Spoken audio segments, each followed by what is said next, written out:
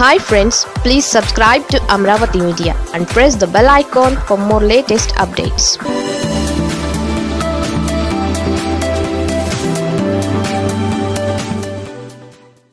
అవినీతి పరుల్ని హడలెత్తిస్తున్న one double four double zero. ఏడాదిలో ఏకంగా నలభై ఐదు వేల ఫిర్యాదులు. లంచం దేశంలో ప్రతి ఒక్కరిని పట్టిపీడిస్తున్న అతిపెద్ద మహమ్మారి. చిన్న పని నుండి పెద్ద పని వరకు ప్రభుత్వ ఆఫీసుల్లో పని జరగాలంటే లంచం ఇవ్వాల్సిందే.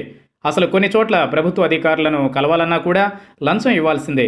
ఈ లంచాలు ఇవ్వలేక ప్రభుత్వ ఆఫీసుల చుట్టూ తిరగలేక కొంతమంది ఆత్మహత్యకి పాల్పడుతూ ఉంటారు. ఈ తరహా ఘటనలు చాలా జరిగాయి. అయితే ఈ పరిస్థితులు మళ్ళీ కనిపించకూడదు అని లంచం అన్న మాట కూడా ప్రభుత్వ ఆఫీసులో వినిపించకూడదు అని సీఎం వైఎస్ జగన్ చేసిన ఆదేశాలతో అవినీతి నిరోధక విభాగం లంచగొండులపై ఉక్కుపాదం మోపుతోంది. ఇందులో భాగంగా ఇప్పటికే రాష్ట్ర వ్యాప్తంగా రెవెన్యూ కార్యాలయాల్లో పెద్ద ఎత్తున దాడులకు శ్రీకారం చుట్టింది. అలాగే అవినీతి నిరోధానికి ప్రత్యేకంగా ఏర్పాటు చేసిన one double four double zero call సెంటర్లకు పెద్ద ఎత్తున కాల్స్ వస్తుండటంతో వాటిపై ఏసీబీ వేగంగా స్పందిస్తోంది.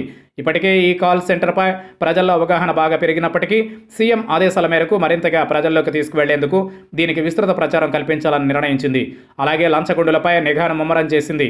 గత ఏడాది నవంబర్లో one double four double zero call సెంటర్ను ప్రారంభించారు. అప్పటి నుండి ఇప్పటి వరకు ఈ కాల్ సెంటర్కు నాలుగు లక్షల నాలుగు వేల తొమ్మిది వందల తొంభై తొమ్మిది కాల్స్ రాగా ఇందులో అవినీతికి సంబంధించిన కాల్స్ పదిహేడు వందల నలభై ఏడు ఉన్నాయి. ఇందులో పదిహేడు వందల పన్నెండు ఫిర్యాదులను పరిష్కరించారు. మరో నూట అరవై ఒక్క కాల్స్పై చర్యలు తీసుకుంటున్నారు. ఈ కాల్ సెంటర్ ద్వారా వచ్చిన ఫిర్యాదుల ఆధారంగా పదమూడు ట్రాప్ కేసులను కూడా ఏసీబీ నమోదు చేసింది. మూడు కేసుల్లో క్రిమినల్ దుష్ప్రవర్తన చర్యలను చేపట్టింది. మరో అరవై ఏడు ఆకస్మిక తనిఖీలను నిర్వహించారు. అలాగే నలభై ఆరు రెగ్యులర్ విచారణలు ముప్పై రెండు డిస్క్రీట్ విచారణలను చేపట్టారు. దీంతో ఈ కాల్ సెంటర్ సూపర్ హిట్ అయిందని అధికార వర్గాలు చెబుతున్నాయి. అలాగే వస్తున్న కాల్స్ ద్వారా ఏ ఏ శాఖల్లో ఏ అంశాలపై అక్రమార్కులు ప్రజలను లంచాలు డిమాండ్ చేస్తున్నారు. ఏసీబీ గుర్తించింది. దీని ద్వారా ఆదాయానికి మించి ఆస్తులు కూడబెట్టిన వారిపై ప్రత్యేక దృష్టి పెట్టారు. ముఖ్యంగా రెవెన్యూ పంచాయతీరాజ్ పోలీస్ మున్సిపల్ వైద్య ఆరోగ్య విద్య విద్యుత్ శాఖల్లో అక్రమార్కులపై ప్రధానంగా నిఘా పెట్టనుంది.